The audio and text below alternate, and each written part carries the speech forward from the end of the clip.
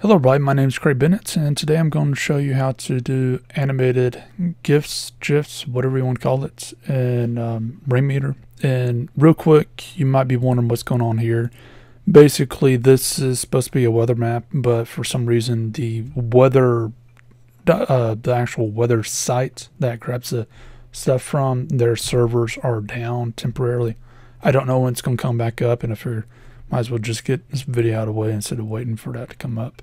And you can see in my past videos what it's supposed to look like. But um, in this and um, and pretty much all my other th themes will be in the description down below. I have a Dropbox link where you can just have a direct link to it. And also I'll have uh, videos down below on um, how to fix the weather problems and also um, how to uh, get this working in the first place.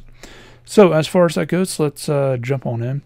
Now, as far as the animated stuff, I'm talking about the things like the, um, like for example, this um, thing right here, the Gengar, and um, you know something like that uh, being animated and whatever. And um, as far as that goes, uh, it's fairly simple to make, and um, and I'll have links down below to all this stuff. But you need to go to this first link, it'll be down below. And basically what you need to do is download that and also on the very bottom, download that, which is um, basically you're, you're able to get uh, GIFs online by just uh, searching for them, just find it wherever, Google, wherever, and then um, you can actually split them uh, split apart by frames and, and upload it to your files. But anyways, um, so just download both of those and find the GIFs. And by the way, that's the actual first one. That's that. And you might notice that this one's much, much, much larger. This Mimikyu is much larger than, than that one.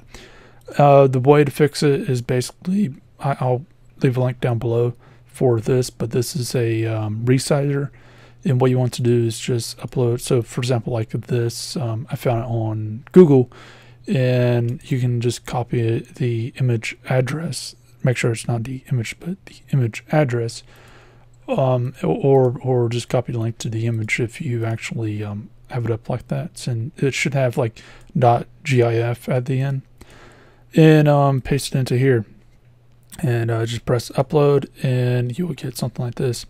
Now, what I found is uh, the best way to make sure it's the right size, like if you got something in mind, then uh, make sure that this, the, the web page is not zoomed in or zoomed out at all. Make sure it's 100%. And what you want to do is, so for example, right here, I sized this down by 22% of that. And as you can see here, it is, sorry about that. Um, right here, it would actually fit into that little ball thing, which was what I wanted to do originally, but it's moving way too fast and it's too bright for my taste. Um, so as far as that goes, let's just notice that. Now, um, and and that's that's like the best way you can do. You might have to go back and forth a few times, but notes that you know, like you can move the window around and everything, but the image should stay the same exact size because of um, the the actual website's not reactive in that format, which is good.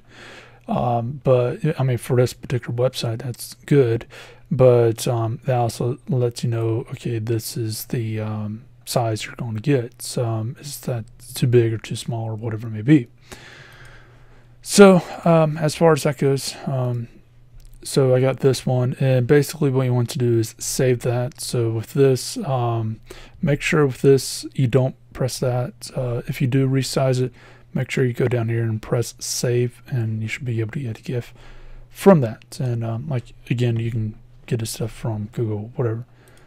Now from here you need to go ahead and click the uh, skin that um, the first thing I had you download and go ahead and press install leave everything as is what it does is it takes off it, it um, adds the new skin but it closes the entire Rainmeter and opens it back up with the new skin so just note that Now, as far as this, this is the animated thing that came with Rainmeter. As far as that little thing I had you download, just unload that.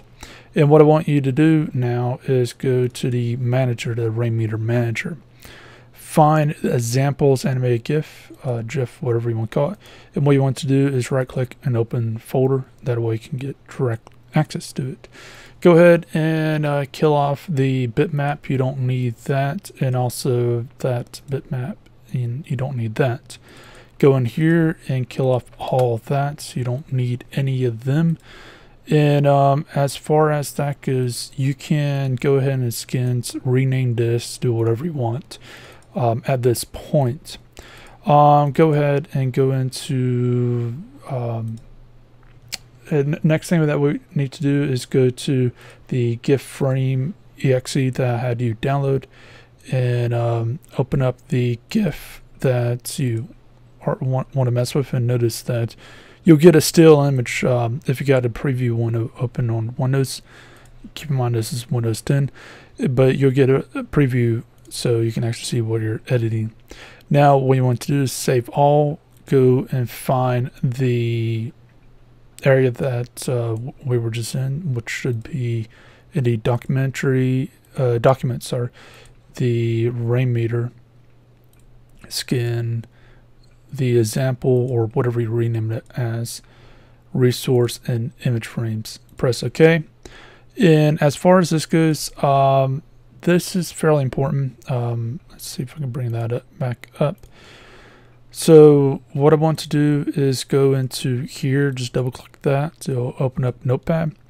And as far as this goes, you want to rename that this. So what we're going to do is just copy that, paste that right there, and leave the percentage. Make sure the percentages are there. It's basically what it's trying to do is say, okay, what do you want to name these files? Um, so so with this being an, an example, um, this code, what it's looking for is the uh, following, where it's it's looking for the file to start with loading and then a minus sign and then whatever number. And right here, it's saying that um, name the actual file loading minus sign and then whatever number that's necessary. So one, two, three, whatever. And then from here, what you want to do is you can leave it either PNG or, or JPEG. For this instance, I recommend just leaving that PNG. And what we want to do is pre just press OK. Go back in here, just make sure that everything's loaded right. And then going back into the text file, what we want to do is, so we got nine frames. It has a nine right there.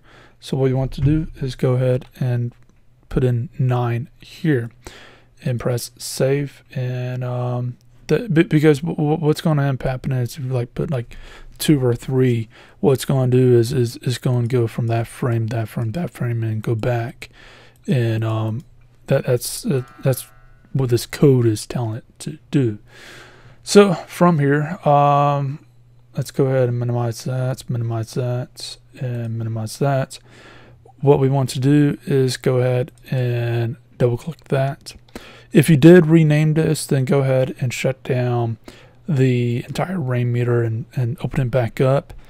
And you should see the rename there. Uh, but And notice that this is still there, but we don't have it. We have to shut it down and open it back up in order for that show. But anyway, see as we uh, got this, and it's a little bit too bright for me.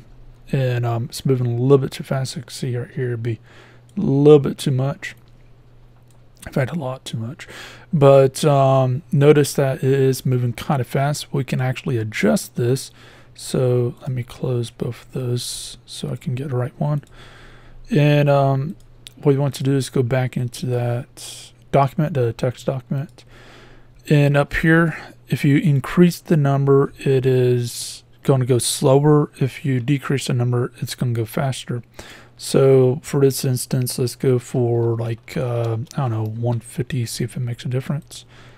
And um, see if it slows it down. It slows down a little bit. Let's go for a dramatic effect and let's go for about 300. And save that. And then right click to refresh. and notice that it massively slows that down. So why is this important to note? Well, this uh, Mimikyu, the uh, first one that we have here, this I actually had to, let's go ahead and load, load that. Uh, this I had to edit the uh, one, what I found is one, I was experimenting with that one or zero. Anything below one is it acts the same. So it was at 100. Save that. Refresh that. And you can see how slow it is. It's way too slow. Let's go down to one. And uh, as you can see here, yeah, it, it it's moving, whatever. I never tried negatives. I don't know what negatives, if it, if it would take it. Yeah, it's, it's not taking it. So I'm guessing zero is the lowest number you can go here. Anything below that is just going to be whatever. So just note that um, if you need to go much faster than that, um, zero is the lowest number you can go. And if you take this out altogether, it, it won't update. It will just stay the same.